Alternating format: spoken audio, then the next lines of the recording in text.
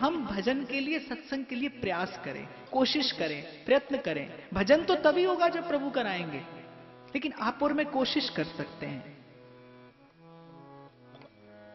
मैंने किसी वृद्ध संत के मुख से सुना था, बोले, बेटा, सौ काम छोड़कर नहाना, हज़ार काम छोड़कर खाना और एक लाख काम छोड़कर भी भजन करना। और आज हमने क्या है कि जीवन में इस गिनती को बिल्कुल उल्टा कर दिया है। भजन का काम सबसे अंत में है। और उसमें आपका मेरा दोष नहीं है, ये आपका मेरा सहज स्वभाव है। भगवान से विमुख रहना ये जीव का स्वभाव है। तो इसीलिए आप सब लोगों के इस प्रयास से हमको ये जो दो तीन दिनों का ये समय मिला है, कोशिश करना कि हम लोग यहाँ पर बैठे तो केवल केवल सुनने के लिए नहीं। हम यहाँ पर आए तो अपने मन में एक भाव भरा उद्देश्य लेकर आए, क्योंकि श्री ठाकुर जी का श्रीमुख वाक्य है कि नाहम वसामि वैकुंठे योगी नाम हृदय नचा मद भक्त यत्र गायंती तत्र तिष्ठा नारद। कि न तो मैं वैकुंठ में हूँ, न योगियों के हृदय में, लेकिन जहाँ मेरे भक्त प्रेम से और भाव से मेरी चर्चा करते हैं, मेरे नाम का गुणानुवाद गाते हैं, वहाँ मैं निश्चित रूप से विराजमान रहता हूँ। और भगवान का एक नाम है भक्तवांछा कल्पतरु कल्पतरु भगवान यहाँ पर विराजे हैं। उनके चरणों में, उनकी शरण में बैठकर हमको सत्संग का आस्वादन करना है। बस अपने मन की, अपने भाव की भूमि आप ऐसे तैयार करके आना। भक्तमाल, जिस प्रकार श्रीमद् भागवत श्री कृष्ण का वांगमय स्वरूप है, उसी प्रकार श्रीमद् भक्तमाल भक्ति का वांगमय स्वरूप है। भागवत की कथा श्रवण करने से तो सांसारिक कामना की भी पूर्ति होती है। लौकिक और पारलौकिक दोनों कामनाओं की पूर्ति होती है। ध्यान से सुनना। श्रीमद् भागवत की कथा श्रवण करने से लौकिक और पारलौकिक कामनाओं की पूर्ति होती है और श्रीमद् भक्तमाल की कथा श्रवण करने से समस्त कामनाओं का नाश हो जाता है। कामनाओं का नाश होता है और हृदय में निर्मल प्रेम का स्मरण होता है, हृदय में विशुद्ध भक्ति का प्रकाश होता है। भक्तमाल का एक एक चरित्र। भक्त, भक्तमाल की एक एक भक्त गाथा श्याम सुंदर को अपने प्राणों से भी अधिक प्रिय है। इसीलिए जैसे अनुभवी संतों ने कहा है कि जहाँ श्री राम कथा होती है, वहाँ और कोई सुनने पहुँचे या न पहुँचे। लेकिन श्री हनुमान जी राम कथा के ऐसे रसियाँ हैं कि वो ज़रूर कथा सुनने आते हैं। ठीक इसी प्रकार वृंदावन के अनुभवी महापुरुषों का यह अनुभव है कि जहाँ श्रीमद भक्तमाल की कथा होती है, वहाँ और कोई सुने या न सुने, लेकिन बाल कृष्ण लाल वहाँ ज़रूर विराजमान रहते हैं और उस कथा का श्रवण करते हैं। और एक बार मुझसे किसी ने ऐसा प्रश्न किया, बोले कि आपको इतना समय हुआ कथा कहते वृंदावन का वास भी आपने किया है, संतों की कृपा प्रसादी भी आपको मिली है। आप अपने जीवन का कोई चमत्कार सुनाइए कि आपने अब तक क्या पाया है। तो मैंने कहा कि मेरे जैसा अनअधिकारी व्यक्ति जिसको, जिसके पास न तो ज्ञान है, न ध्यान है, न संयम है, न साधन है, मेरे जैसा नितांत अनअधिकारी व्यक्ति यहाँ बैठकर इस इस इस गादी पर बैठकर, इस स्थान पर बैठकर, और भगवान की कथा का अमृत खुद भी पीता है, दूसरे को भी पिलाता है, प्रभु की और संतों की कृपा का इससे बड़ा चमत्कार और क्या होगा?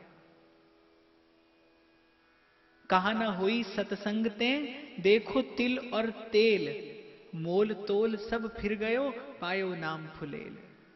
धूल वायु का संग करती है, आसमान छू लेती है।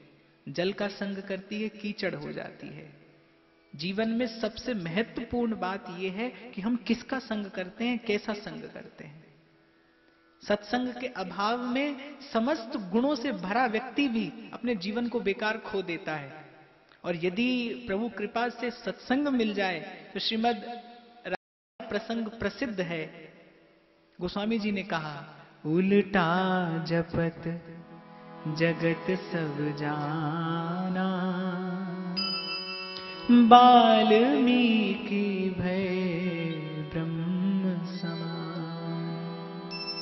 इतना पूर्वकृत पाप है वाल्मीकि का कि संत कहते हैं, बेटा, एक बार राम नाम बोलो, उसके मुख से राम नहीं निकलता। बोले, हमारे मुख से ये नाम निकलता ही नहीं।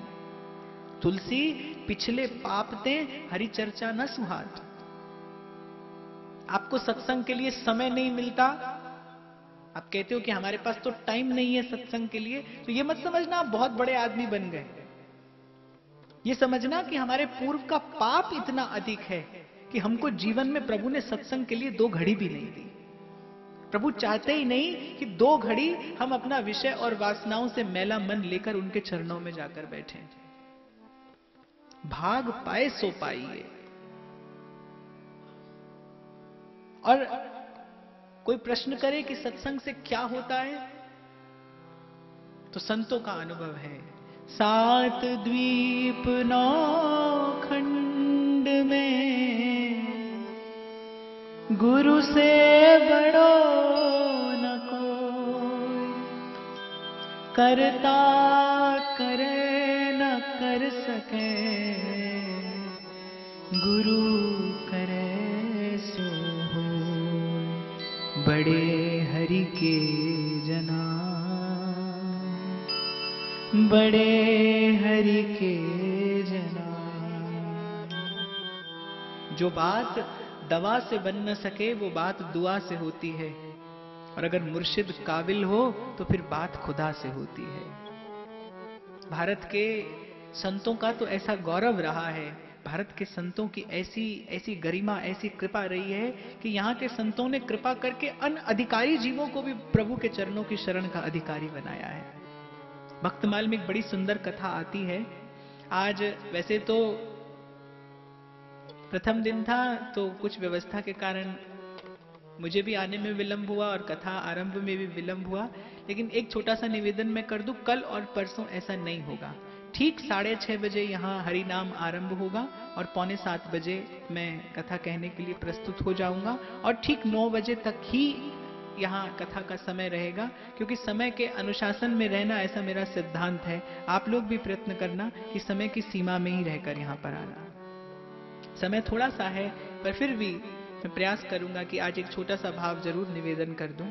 भक्तमाल में एक बड़ी सुंदर एक कथा आती है कि एक बार एक बड़े भजनानंदी संत थे और अपने साथ संतों की जमात लेकर भ्रमण किया करते थे। एक नगर से दूसरे नगर हरि नाम का प्रचार करते डोलते थे हरि नाम का प्रसार करते डोलते थे। खूब संतों की जमात उनके संग में थी। एक नगर से निकल रहे थे, साँझ ढल गई और उन्होंने सोचा कि आज तो यहीं इसी नगर में कहीं ना कहीं पड़ाव डालकर श्री ठाकुर जी की सेवा करना चाहिए, आगे की यात्रा कल संपादित करेंगे। एक बड़ा सुंदर नगर से बाहर एक बड़ा सुंदर उद्यान था और उद्यान के पीछे बड़ा सुंदर एक भवन था। तो उन संतों को वही स्थान उपयुक्त तो लगा, वहीं पर अपना आसन जमाया, श्री ठाकुर जी को विराजमान किया और सेवा करने लगे। प्रातः काल जिस उद्यान में ठहरे थे, उस उद्यान की स्वामिनी, उसने अपने भवन के झरोखे से संतों और संतों की जमात को देखा। मन बड़ा प्रसन्न हुआ, मन बड़ा आह्लादित हुआ। जो सुख होत संत घर आए, सो सुख होत नहीं सुपने कोटिक तीरथ नहाए। बिना बुलाए या बुलाने पर, जिस दिन संत के चरण घर में पड़े, उस दिन तो उस दिन को उत्सव का दिन समझना चाहिए, उल्लास का दिन समझना चाहिए। मुद मंगल में संत समाजो। जुग जग जंगल तीरथ दूर से संतों का दर्शन किया, मन बुद्धि निर्मल हो गई। साधु नाम दर्शनम पुण्यम। साधु का दर्शन भी मन को निर्मल कर देता है। जिस प्रकार चंदन के वृक्ष को, चंदन की सुवास बांटनी नहीं पड़ती अपितु चंदन के वृक्ष से जो भुजंग लिपटा रहता है, वो भी सुवासित हो जाता है। कोई अगर चंदन के वृक्ष को काटने के लिए आए तो जिस कुल्हाड़ी से वृक्ष काटा जाता है, चंदन का वृक्ष तो उस कुल्हाड़ी को भी अपनी सुवास देता है। यही संत का लक्षण है। जो निकट आता है, उसका कल्याण होता है। प्रत्यक्ष, अप्रत्यक्ष संत ते होए, न कारज हानि, संत से लाभ ही होता है। तो उस युवती ने संतों का और संत के समूह का दर्शन किया, मन बुद्धि बड़ी निर्मल हो गई, पावन हो गई। मन में आया, मन में बड़ा उल्लास जगा कि दौड़ कर जाऊँ, इन संतों को प्रणाम करूँ, चरणामृत लूँ। लेकिन तत्काल विचार हो आया कि मैं हूँ कौन? वो वस्तुतः एक वेश्या थी। वेश्या का भवन था और उसी वेश्या का वो उद्यान था, जहाँ वो संत आकर टिके थे। मन में विचार करने लगी कि निश्चित रूप से ये संत जानते नहीं है कि मैं कौन हूँ। अगर इनको मालूम होता कि ये स्थान मेरा है, ये स्थान किसी वेश्या का है तो ये कभी यहाँ विश्राम नहीं करते। अब मन में बड़ा द्वंद हुआ कि निकट जाऊँ।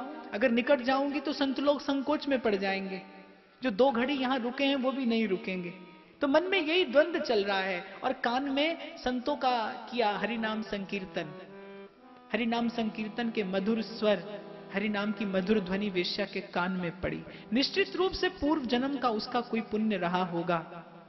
जो संतों ने उस, उसके प्रांगण को, जहाँ कोई कोई उदार व्यक्ति, जहाँ कोई भला व्यक्ति देखना भी पसंद नहीं करे, जिसकी एक एक सम्मानीय व्यक्ति की देखने में भी रुचि ना हो, वहाँ संतों ने आकर अपना डेरा डाला।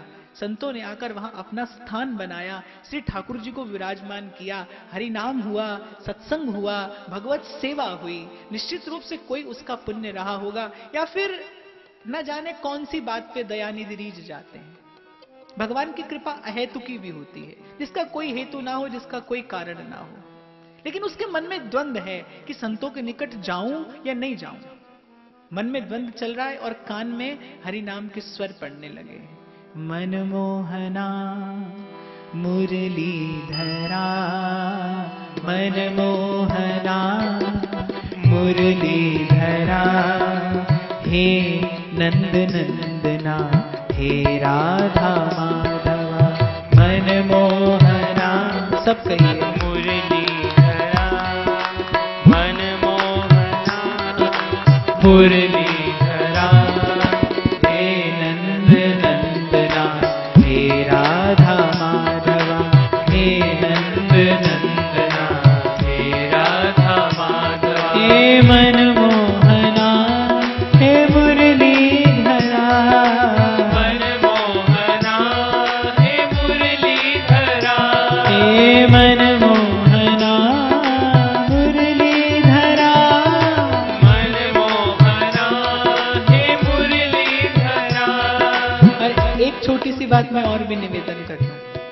जब कथा हो तो खूब सावधान होकर बैठकर श्रवण करना, बिना हिले डुले। लेकिन जब संकीर्तन हो तो कोई भी ऐसा नहीं रहे यहाँ पर, जो ताली नहीं लगाए और अपने मुख से हरिनाम उच्चारण नहीं करे। कोई भी आप में से ऐसा नहीं यहाँ रहना चाहिए। मन मोहना हे मुरलीधरा